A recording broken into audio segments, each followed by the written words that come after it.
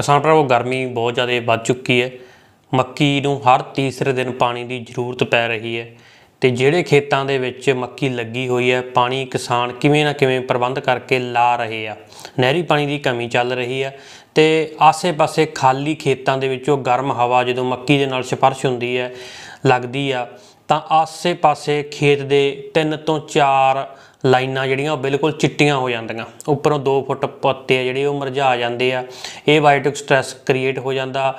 ਮਤਲਬ ਕਿ ਗਰਮ ਤੇ ਰੁੱਖੀ ਹਵਾ, ਜਿਹਦੇ ਵਿੱਚ ਨਮੀ ਨਹੀਂ ਹੁੰਦੀ। ਜੇਕਰ ਮੱਕੀ ਨੂੰ ਗਰਮ ਤੇ ਨਮੀ ਵਾਲਾ ਮੌਸਮ ਮਿਲਦਾ ਤਾਂ ਇਹਦੀ ਬਹੁਤ ਸੋਹਣੀ ਗਰੋਥ ਹੁੰਦੀ ਆ। ਪਰ ਟੈਂਪਰੇਚਰ 40 42 ਡਿਗਰੀ ਤੋਂ ਕ੍ਰਾਸ ਨਹੀਂ ਹੋਣਾ ਚਾਹੀਦਾ, ਜਿਹੜੀਆਂ ਇਹਦੀਆਂ ਮਨਪਸੰਦ ਕੰਡੀਸ਼ਨਾਂ ਪਰ ਜਦੋਂ ਮੱਕੀ ਦੇ ਖੇਤਾਂ ਦੇ ਵਿੱਚ ਟੈਂਪਰੇਚਰ 46 ਡਿਗਰੀ ਚਲਾ ਜਾਂਦਾ, ਉੱਪਰੋਂ ਹਵਾ ਦੇ ਵਿੱਚ ਨਮੀ ਦੀ ਵੀ ਬਹੁਤ ਜ਼ਿਆਦਾ ਕਮੀ ਹੋ ਜਾਂਦੀ ਹੈ ਇਹਦੇ ਤੇ ਜਿਹੜਾ ਵੀ ਫਾਲ ਆਰਮੀ ਵਾਰ ਸਪੋਟਰ ਵਾਰਮ ਦੀ ਹਮਲਾ ਹੁੰਦਾ ਹੈਗਾ ਬੋਰਰ ਅਟੈਕ ਕਰਦੇ ਹੈਗੇ ਆ। ਸੁੰਡੀ ਵਾਲੀ ਮੱਕੀ ਦੀ ਛੱਲੀ ਵਾਲੀ ਸੁੰਡੀ ਜਾਂ ਪੱਤੇ ਖਾਣ ਵਾਲੀ ਸੁੰਡੀ, ਇਹਦੇ ਕਾਫੀ ਜ਼ਿਆਦਾ ਹਮਲਾ ਕਰਦੀ ਆ। ਉਹ ਕੰਟਰੋਲ ਵਿੱਚ ਵਿੱਚ ਵੀ ਨਹੀਂ ਆਉਂਦੀ ਹੈਗੀ।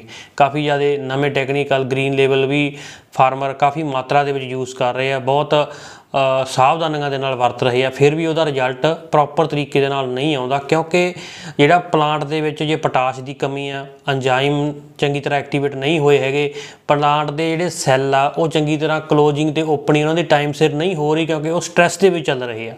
ਤਾਂ ਅਜਿਹੀ ਕੰਡੀਸ਼ਨ ਲਗਾਤਾਰ ਪਿਛਲੇ 10 ਦਿਨਾਂ ਤੋਂ ਬਣੀ ਹੋਈ ਆ, ਜਿਹਦੇ ਕਰਕੇ ਮੱਕੀ ਦੇ ਪੱਤੇ ਸੁੱਕ ਰਹੇ ਆ।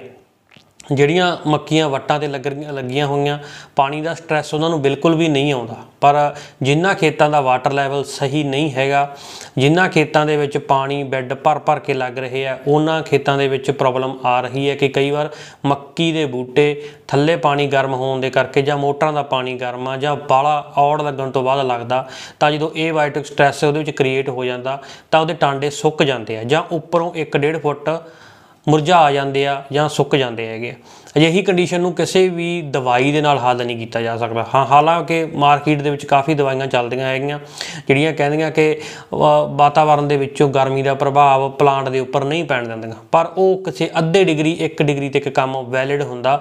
ਪਰ ਜਦੋਂ ਤਾਪਮਾਨ ਵਾਤਾਵਰਣ ਦੇ ਵਿੱਚ 5 ਤੋਂ 6 ਡਿਗਰੀ ਅਬਵ ਚੱਲ ਰਿਹਾ ਹੈ ਤੇ ਹਵਾ ਦੇ ਵਿੱਚ ਨਮੀ ਨਹੀਂ ਚੱਲ ਰਹੀ ਹਵਾ ਖੁਸ਼ਕ ਚੱਲ ਰਹੀ ਹੈ ਹਵਾ ਦੇ ਵਿੱਚ ਨਮੀ ਦੀ ਮਾਤਰਾ 50% ਤੋਂ ਵੀ ਘੱਟ ਚੱਲ ਰਹੀ ਹੈ। ਤਾਂ ਉਹ ਗਰਮੀ ਵਾਲੀ ਹਵਾ ਪਲਾਂਟ ਨੂੰ ਸਟ੍ਰੈਸ ਕ੍ਰੀਏਟ ਕਰ ਦਿੰਦੀ ਹੈ। ਪਲਾਂਟ ਨੂੰ ਜਦੋਂ ਹੀ ਫੇਵਰੇਬਲ ਮੌਸਮ ਮਿਲੂਗਾ, ਤਾਂ ਉਦੋਂ ਉਹਨੇ ਆਪਦੇ ਵਾਧੇ ਵਿਕਾਸ ਦੇ ਲਈ ਜ਼ਿਆਦਾ ਕੰਮ ਕਰਨਾ ਹੈਗਾ। ਉਹਨਾਂ ਟਾਈਮ ਤਾਂ ਉਹ ਬਿਲਕੁਲ ਟਾਈਮ ਪਾਸ ਕਰਨ ਤੇ ਹੀ ਲੱਗਿਆ ਹੋਇਆ। ਚੰਗੀ ਗਰੋਥ ਵੀ ਨਹੀਂ ਹੋ ਰਹੀ ਤੇ ਜੇ ਕੋਈ ਅਟੈਕ ਹੋਇਆ ਕਿਸੇ ਪੈਸਟ ਦਾ, ਉਹ ਵੀ ਚੰਗੇ ਤਰੀਕੇ ਦੇ ਨਾਲ ਕੰਟਰੋਲ ਨਹੀਂ ਹੋ ਰਿਹਾ। ਕਾਫੀ ਦਿਨਾਂ ਤੋਂ ਇਸ ਤਰ੍ਹਾਂ ਦੀਆਂ ਇਨਕੁਆਇਰੀਆਂ ਆ ਰਹੀਆਂ ਸੀ, ਜਿਹੜੇ ਕਿਸਾਨਾਂ ਦੇ ਖੇਤਾਂ ਵਿੱਚ ਮੱਕੀ ਲੱਗੀ ਹੋਈ ਹੈ।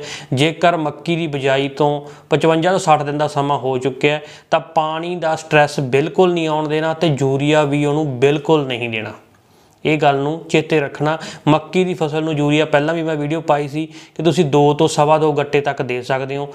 ਲਾਈਟ ਸ਼ਿਫਟਾਂ ਦਿਓ। ਜਦੋਂ ਮੱਕੀ ਵੱਡੀ ਹੋ ਗਈ, ਪੱਤੇ ਆਪਸ ਦੇ ਵਿੱਚ ਖਹਿਣ ਲੱਗ ਗਏ, ਤਾਂ ਤੁਸੀਂ ਉਹਨੂੰ ਯੂਰੀ ਛਿੱਟੇ ਦੇ ਨਾਲ ਨਹੀਂ ਪਾਉਣਾ ਹੈਗਾ।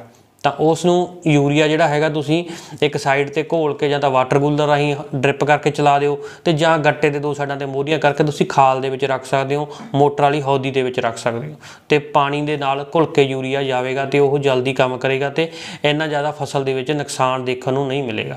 ਪਰ ਜਿਹੜੇ ਫਾਰਮਰ 50 ਦਿਨ ਤੇ ਜਾ ਕੇ ਵੀ ਯੂਰੀਆ ਦੇਣ ਤੇ ਲੱਗੇ ਹੋਏ ਆ ਤੇ ਉਹਨਾਂ ਨੂੰ ਲੱਗਦਾ ਹੈਗਾ ਕਿ ਇਸ ਦੇ ਨਾਲ ਗਰਮੀ ਦਾ ਪ੍ਰਭਾਵ ਘੱਟ ਹੋ ਜਾਵੇਗਾ ਤਾਂ ਉਹ ਗਲਤ ਡਾਇਰੈਕਸ਼ਨ 'ਚ ਜਾ ਰਹੇ ਆ ਕਿਉਂਕਿ ਆਉਣ ਵਾਲੇ ਦਿਨਾਂ ਦੇ ਵਿੱਚ ਜੇਕਰ ਚੰਗਾ ਮੌਸਮ ਮੌਸਮ ਬਣਦਾ, ਬਾਰਿਸ਼ ਹੁੰਦੀ ਆ, ਉਸ ਤੋਂ ਬਾਅਦ ਕੋਈ ਹਨੇਰੀ ਦਾ ਜਿਹੜਾ ਸਿਸਟਮ ਬਣ ਜਾਂਦਾ ਹੈਗਾ ਤਾਂ ਮੱਕੀ ਡਿੱਗ ਜਾਵੇਗੀ। ਮੱਕੀ ਕੱਚੀ ਅਵਸਥਾ 'ਚ ਨਹੀਂ ਜਾਣੀ ਚਾਹੀਦੀ, ਕਦੋਂ ਵੀ ਫਰੂਟ ਲੱਗਦਾ, ਕਣਕ ਨੂੰ ਬੱਲੀ ਲੱਗਦੀ ਹੈ, ਝੋਨੇ ਨੂੰ ਬੱਲੀ ਲੱਗਦੀ ਹੈ, ਮੱਕੀ ਨੂੰ ਛੱਲੀ ਲੱਗਦੀ ਹੈ, ਤਾਂ ਉਸ ਤੋਂ 14 ਦਿਨ ਪਹਿਲਾਂ ਪਲਾਂਟ ਦੇ ਵਿੱਚ ਯੂਰੀਆ ਬਿਲਕੁਲ ਬੰਦ ਹੋਣੀ ਚਾਹੀਦੀ ਹੈ।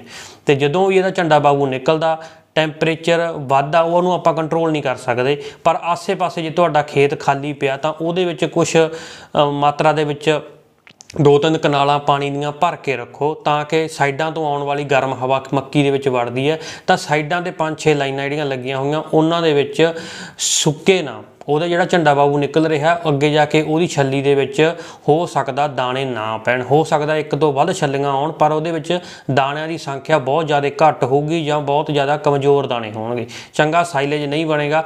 ਜੇਕਰ ਹਰੇ ਚਾਰੇ ਵਾਲੀ ਮੱਕ- ਮੱਕੀ ਹੈ, ਫਿਰ ਤੇ ਕੋਈ ਕੰਟਰੋਲ ਵਾਲੀ ਗੱਲ ਨਹੀਂ ਹੈਗੀ, ਫਿਰ ਤੁਹਾਨੂੰ ਕੋਈ ਜ਼ਿਆਦਾ ਟੈਨਸ਼ਨ ਲੈਣ ਦੀ ਲੋੜ ਨਹੀਂ।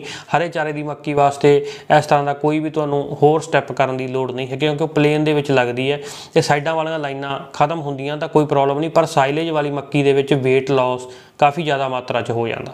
ਸੋ ਇੰਨੀਆਂ ਗੱਲਾਂ ਤੁਹਾਡੇ ਨਾਲ ਸਾਂਝੀਆਂ ਕਰਨੀਆਂ ਸੀ ਕਿ ਮਾਰਕੀਟ ਦੇ ਵਿੱਚ ਇਸ ਵਾਰ ਜਿਹੜਾ ਸਮਾਂ ਆਪਾਂ ਵਿਹਲਾ ਕੱਢਣਾ ਹੁੰਦਾ, ਉਹ ਸਮੇਂ ਦੇ ਵਿੱਚ ਆਪਾਂ ਮੂੰਗੀ ਵੀ ਲਾਈ ਬੈਠੇ ਆ ਮੱਕੀ ਵੀ ਲਾਈ ਬੈਠੇ ਆ ਤੇ ਕੰਡੀਸ਼ਨਾਂ ਕਾਫੀ ਜ਼ਿਆਦਾ ਅਨਫੇਵਰੇਬਲ ਚੱਲ ਰਹੀਆਂ, ਮੌਸਮ ਆ ਜਿਹੜਾ ਉਹ ਕਾਫੀ ਜ਼ਿਆਦਾ ਚੇਂਜ ਹੈ, ਗਰਮ ਹੈ, ਖੁਸ਼ਕ ਹੈ। ਜਿਹਦੇ ਕਰਕੇ ਪਨੀਰੀਆਂ 'ਚ ਵੀ ਕਾਫੀ ਪ੍ਰੋਬਲਮ ਆਈ ਹੈ, ਮੱਕੀ 'ਚ ਵੀ ਪ੍ਰੋਬਲਮ ਚੱਲ ਰਹੀ ਹੈ ਤੇ ਮੂੰਗੀ ਦੀਆਂ ਬਜਾਈਆਂ ਵਿੱਚ, ਮੂੰਗੀ ਦੀ ਫਸਲ ਵਿੱਚ ਵੀ ਕਾਫੀ ਦਿੱਕਤ ਚੱਲ ਰਹੀ ਹੈ।